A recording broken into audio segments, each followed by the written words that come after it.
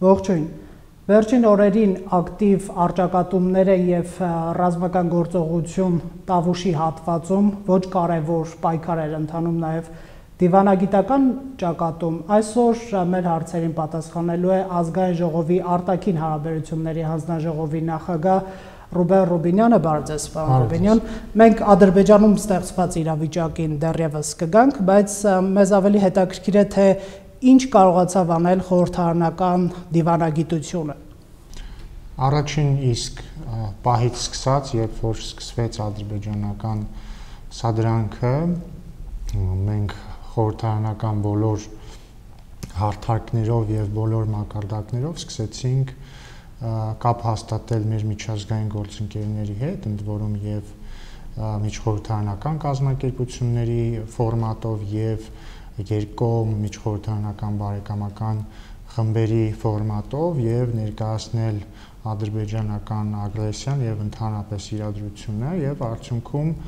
կարծում եմ արդյունքները սпасել չտվեցին, որովհետեւ միանգամից սկսեցինք ստանալ հայտարարություններ տարբեր անհատ падգամավորների, որոշ խորհրդարանների, նախագահների, բարեկամական խմբերի անունից եւ այս հայտարարությունների աշխարհագրությունը շատ մեծ է եւ կարծում եմ, որ ընդհանրապես մեր դիվանագիտությունը, ներառյալ խորհրդանական դիվանագիտությունը շատ լավ գործեցին այս օրերին։ Պարոն Ռուբինյան, ըստ երևույթին պաշտոնական աղբյուրները դեռ չեն հաղորդում, բայց չեն էլ հերքում մենք ունեցել ենք դիրքային ձեռքբերումներ Ադրբեջանի հետ հակամարտությունում եւ բնականաբար այդ երկիրը համարում է, որ Հայաստանի Հանրապետությունը ագրեսիայի է դիմել։ Ձեր ընկալմամբ նաեւ ունենալով տեղեկություններ հավանաբար միջազգային գործընկերներից այս իրադարձությունները միջազգային աչքի համար ինչպես երևացին։ Ադրբեջանը չի համարում, որ մենք ագրեսիայի ենք դիմել։ Ադրբեջանը փորձում է ներկայացնել որ մենք ենք ագրեսիայի դիմել եւ խեղաթյուրել իրականությունը ընդհանրապես եթե նայենք օրինակ վերջին ամիսների ադրբեջանական ղեկավարության հայտարարությունները, ռազմատենչ հայտարարությունները ակնհայտ էր, որ Ադրբեջանը սպասում սպասում է կամ մտադիր է իրականացնել ինչ որ գործողություններ։ Այստեղ օրինակ շատ հատկանշանական է հունիսի 21-ին Ադրբեջանի պաշտպանության նախարար Զաքիր Հասանովի հարցազրույցը, որը ուշադիր ցցա հուլիսյան սադրանքից օրեր առաջ էր, այսինքն մոտ 20 օր առաջ էր, որտեղ ինչ էր ասում Զաքիր Հասանովը երկու հետաքրական բաներ ասում։ Առաջինը նա ասում էր, որ շփման գծում եւ շփման գիծ ասելով նա նկատի ուներ Արցախա-ադրբեջանական շփման գիծը, քանի որ համապատասխան տեսահսկման տեխնիկա են տեղակայել հայերը, իրենց համար դժվար է զինատեսակներով խոցել հայերին։ Բացի այս, նա ասում էր, որ իրենց գլխավոր խնդիրներից մեկն այն է, որ իրենց բնակավայրերը մոտ են շփման գծին, իսկ հայկական բնակավայրեր շփման գծի մոտ չկան։ Սա ասելով նա կրկին նկատի ուներ Արցախա ադրբեջանական շփման գիծ, այսինքն ինչ է ստացվում, որ Զաքիր Հասանովը մատնանշում էր այն խնդիրները, որոնք այն կամ այն դժվարությունները, որոնք իրենք ունեն Արցախի վրա հարցակվելու հետ կապված։ Հիմա բայց եթե ելնենք Զաքիր Հասանովի տրամաբանությունից, որտեղ այդ դժվարությունները իրենց տեսանկյունից չկան կամ որտեղ են դրանք ավելի քիչ եւ պատասխանը դառնում է ակնհայտ Տավուշում, որովհետեւ Տավուշում ի տարբերություն Արցախը ադրբեջանական շփման գծի հայկական գյուղերը շատ մոտ են սահմանին եւ այսպիսով եթե օրինակ հետադարձ հայացքով կրկին դիտենք Զաքիր Հասանովի հարցազրույցը, սա կարելի է համարել բաց հայտարարություն Տավուշի ուղությամբ հարցակում գործելու մտադրության մասին։ Եվ այս առումով եւ ոչ միայն եւ եթե համադրենք այս հարցազրույցը դրան նախորդած իրենց տարատեսակ հայտարարություններ այդ թվում իրենց նախագահ Ալիևի բերանով եւ նաեւ հաշվի առնենք այն փաստը, որ մենք բնականաբար նախկին ամիսներին առանց գործ նստած չենք եղել եւ բնականաբար մեր միջազգային գործընկերներին տեղեկացրել ենք այս հայտարարությունների մասին, ես կարծում եմ ընդհանուր առմամբ միջազգային հանրությունը կամ միջազգային մեր գործընկերները հասկանում են, որ եթե համադրում ենք բոլոր փաստերը եւ նաեւ համադրում ենք այն փաստը, որ այդ գործողությունները ռազմական ըստ էության տեղի են ունեցել Հայաստանի միջազգայինորեն ճանաչված սահմանների ներսում, այսինքն օրինակ այն դիրքը, որի վրա հարձակվել են ադրբեջանցիները Հայաստանի միջազգայինորեն ճանաչված սահմանների ներսում է, ակնհայտ է դառնում, որ ագրեսորը Ադրբեջանն է։ Սրան եթե գումարենք նաև ադրբեջանցիների կամ Ադրբեջանի պաշտպանության նախարարի, պաշտպանության նախարարության մամլո խոսնակի խելահեղ հայտարարությունը սպառնալիքը ատմեցամորի ատոմակայանը խոցելու վերաբերյալ կրծքին կարծում եմ ակնհայտ է դառնում, որ գործ ունենք ագրեսոր պետության հետ։ Հետաքրքիր է այդ ատոմակայանի հայտարարությունը շատերի գնահատմամբ կոպտագույն սխալ էր Ադրբեջանի կողմից։ Դա ինչպես է պատրաստվում թեկուս խորհրդարանական դիվանագիտությունը օգտագործել առաջիկա։ Ոչ թե ինչպես է պատրաստվում, այլ ինչպես ենք դա արդեն անում, որովհետև այդ հայտարարության հրապարակումից հետո շատ արագ մենք մեր բոլոր գործընկերներին տեղեկացրել ենք այս հայտարարության մասին եւ պետք է ասեմ, որ բոլոր գործընկերները մեզ պես ապշած են այս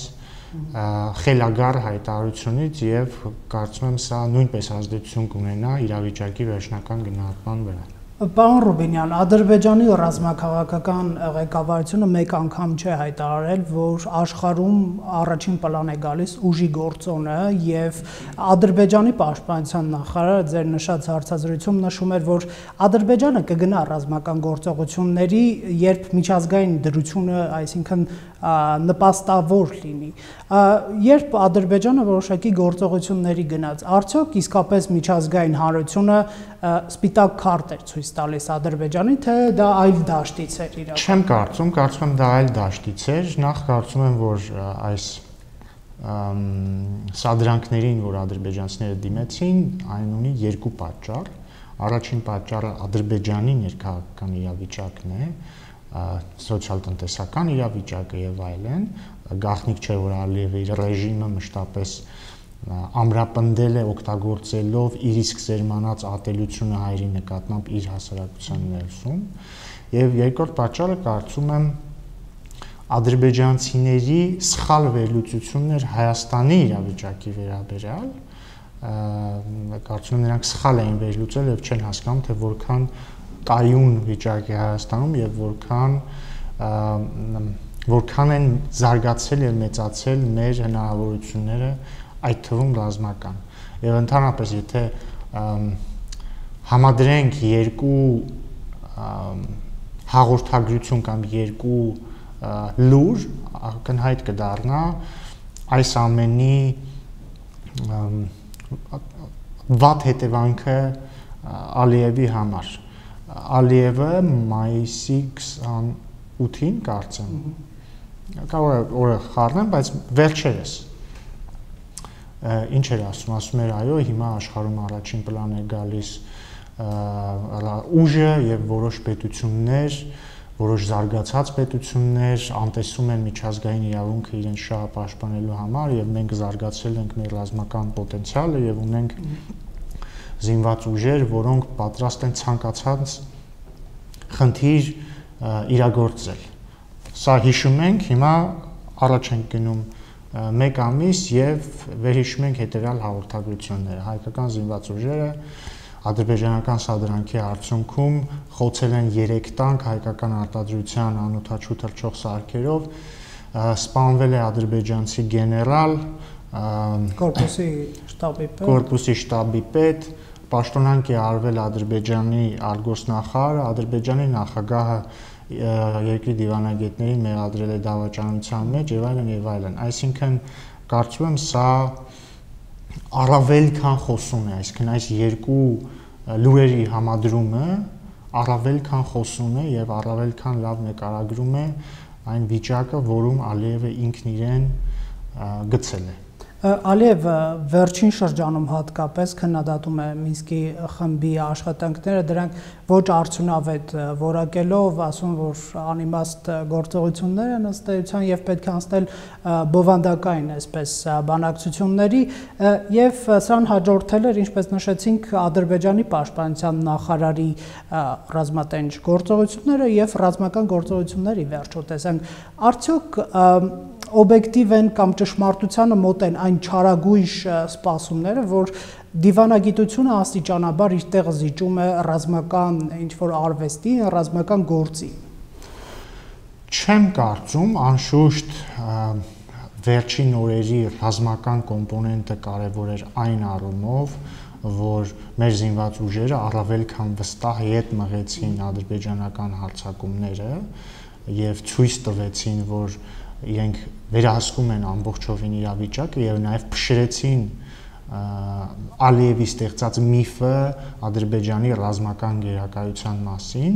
եւ բայց այս փաստերը թեև ռազմական են, նրանք ունեն կոնկրետ դիվանագիտական նշանակություն, որովհետեւ դիվանագիտությունը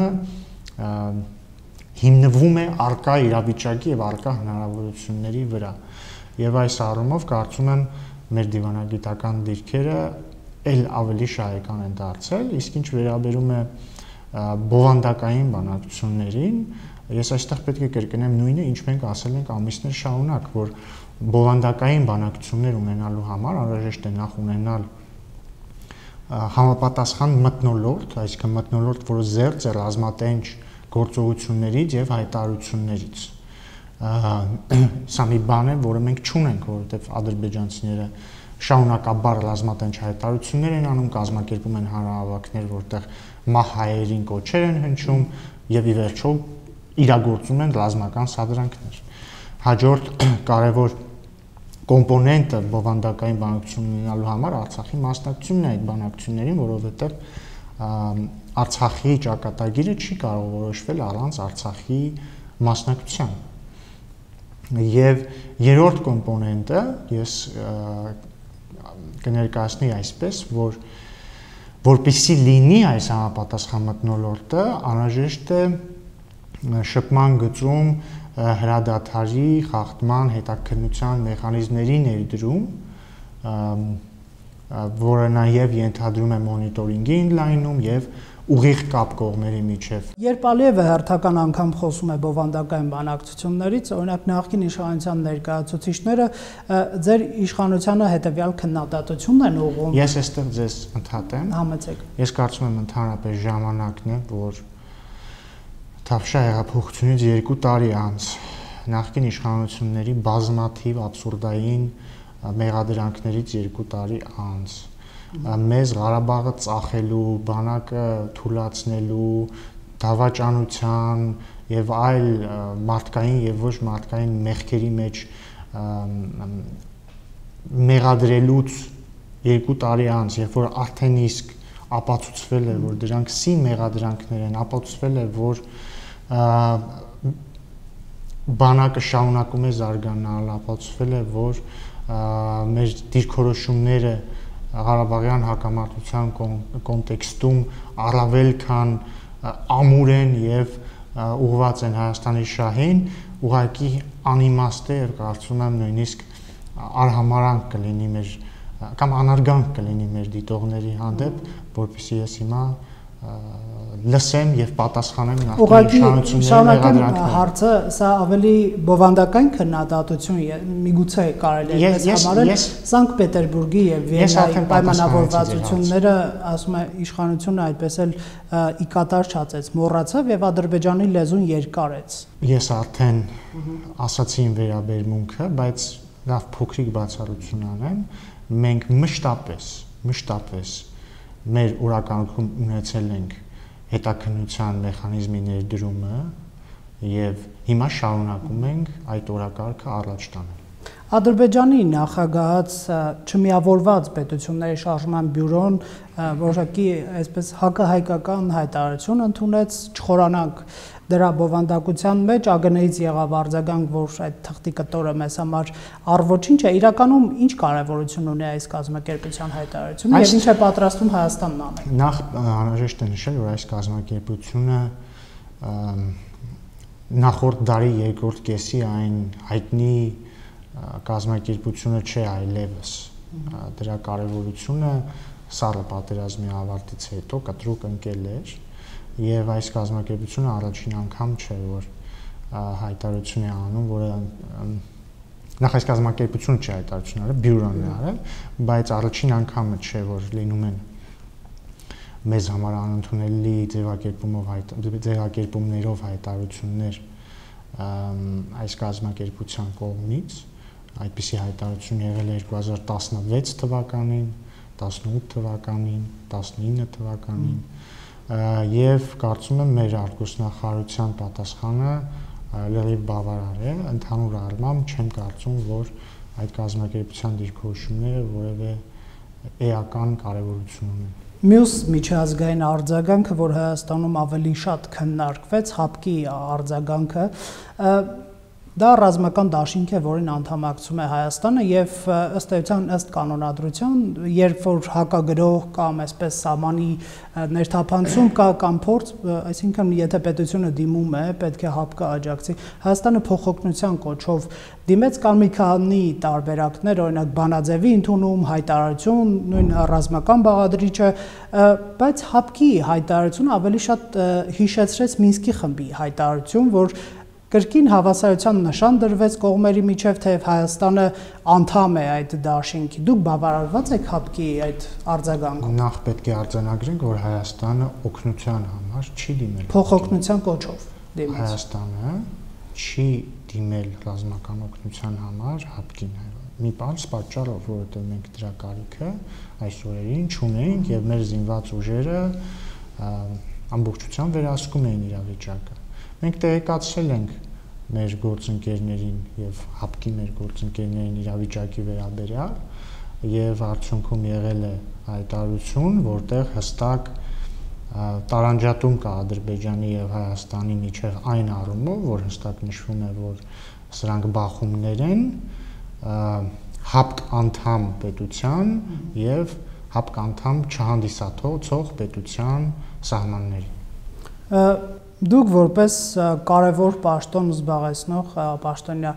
հավատացած եք, որ հավանական լայնամասշտաբ ռազմական գործողությունների ժամանակ ՀԱՊԿ-ը Հայաստանի Հանրապետությանը ռազմական աջակցություն տալու եթե դրա անհրաժեշտությունը լինի, եթե Հայաստանի Հանրապետությունը դիմի։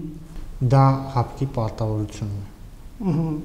Այսինքն այս արձագանքը որոշակի վատատեսության հիմքեր տվեց քաղաքացիներին։ Չեմ կարծում։ Շատ լավ։ Եվ մյուսը Ադրբեջանում, ինչպես դուք նշեցիք, դիվանագիտական կորպուսը որոշակի ցնցումների ենթարկվեց այս օրերին։ Ինչ է կարծում, արդյոք Ադրբեջանը իր դիրքերը կփորձի փոփոխել արդեն նոր արտգործնախարարի օրոք կոշտացումների գնալ եւ ո՞րն է լինելու հայկական կողմի պատասխանը։ Նախ վերջին օրերի Իլհամ Ալիևի քննադատությունը, շատ կոշտ քննադատությունը իր արդեն նախկին արտգործնախարարի ընդհանրապես իրենց դիվանագետների միջազգային միջխորհրդանական կառույցներում իրենց ներկայացուցիչների վերաբերյալ կարծում եմ լավագույն գնահատականն է մեր դիվանագիտության, այդ թվում խորհրդանական դիվանագիտության ընդհանուր առմամբ արդյոք նրանք գնան կոշտացումների վերլուծելու հարց է, բայց առավել կարևոր հարց է արդյոք նրանք ունեն ռեսուրս, այդ թվում դիվանագիտական ռեսուրս գնալ կոշտացումների։ Ես չեմ կարծում, որովհետև վերջին օրերը եւ ռազմական տեսանկյունից եւ դիվանագիտական տեսանկյունից ցույց են տվել, որ մենք վերահսկում ենք իրավիճակը Այսինքն հայկական կողմի համար առաջնահերթ են ձեր նշած կոմպոնենտները Արցախի մասնակցություն, իրա հանգիստ իրադրություն բանակցությունների համար դրան դրանցով է առաջնորդվում հետաքննության մեխանիզմի կամ հետաքննության միջոցների ներդրում Եվ այս համատեքստում նաև կարծում եմ պետք է նաև խոսենք Թուրքիայի ապակառուցողական դերի մասին այս սրացումներում ըստ էության Թուրքիայի Թուրքիան ամբողջովին աջակցեց Ադրբեջանի ագրեսիվ եւ ապօրինի գործողություններին, ինչը կրկին վերահաստատում է այն փաստը, որ Թուրքիան չի կարող որևէ դերակատարում ունենալ Ղարաբաղյան հակամարտությանը առնչվող որևէ միջազգային ֆորմատում կամ առաքելության մեջ եւ սա եւ սա եւ սա նաեւ ցույց է տալիս որ Թուրքիան շարունակում է մնալ ապակառուցողական ուժ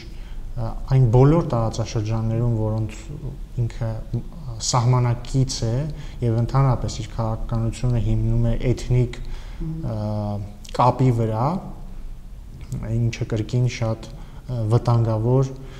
գիծ է եւ մեր արձագանքը Թուրքիայի այս պահվածքին եղել է առավել քան հստակ եւ առավել քան ճիշտ ժամանակին եւ բնականաբար այս հարցը այս հարցի բարձրաձայնումը նույնպես մեր օրակարգում է պետք է նաև արձանագրեմ որ շատ կարևոր էր որ Ռուսաստանի արտգործնախարարության հայտարարության մեջ նաև անդրադարձ կար Թուրքիայի ապակառուցողական դերին որտեղ կոչ էր արվում ԵԱԿ Մինսկի խմբի անդամներին, որոնցից մեկը Թուրքիան է, զերծ մնալ միակողմանի հայտարարություններից, որոնք կարող են ել ավելի ակպակայունացնել իրադրությունը։ Պարոն Ռուբինյան, դիվանագիտական հարցերից արդեն ավարտելով հարցազրույցը գանք մի այսպես իրադարձության, որը հայկական համացանցում շատ քննարկվեց, Russia Today գլխավոր խմբագրի հայտնի գրառումն էր, ուղված իշխանությանը, գիտեք այդ որակումները չկրկնենք, ըստ էության քննադատությունը այն է, որ հաշվի չի առնվում կամ չի սпасարկվում Հայաստանի իշխանության կողմից Ռուսաստանի շահերը, օրինակ Ղրիմը չի ճանաչում։ Ես չեմ կարծում, որ Դա ներեցեք հարցը ուղղակի ձևակերպեմ, պարոն Ռոբինյան։ Դա իր տեսակետը համարենք, թե ռուսական իշխանության կամ չգիտեմ։ Ես չեմ կարծում, որ ձեր մատնանշած անձը այն անձն է, ում մեկնաբանությունները կամ հայտարարությունները ես կամ որևիցե